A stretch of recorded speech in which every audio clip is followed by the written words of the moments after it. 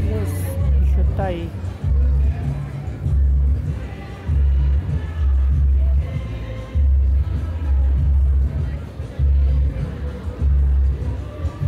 Dentro de um buraco do muro, uma mureta de cimento aqui.